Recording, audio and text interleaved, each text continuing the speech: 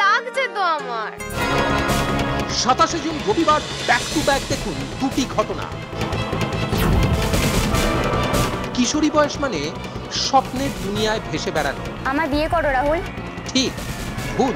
বিচার ক্ষমতার সাথে পরিচিতি না হওয়া কিশোরীর মন পরিপূর্ণ হওয়ার আগে বারবার কেন শিকার কিছু লোলুপ দৃষ্টি সন্ধ্যে সাড়ে আটটা থেকে সাড়ে দশটা।